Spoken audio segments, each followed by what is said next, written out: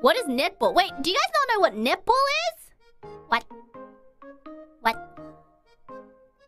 Do you guys not know what netball is? Hi? What? It's what?